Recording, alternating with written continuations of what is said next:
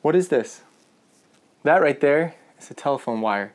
Late 80s, state rep lived in this house. That was literally a toilet phone.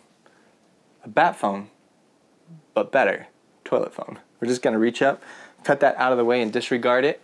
It does not pose a safety hazard. Be careful, you wanna make sure you're not cutting out your thermostat wire or something else, but this, my friends, is a toilet phone.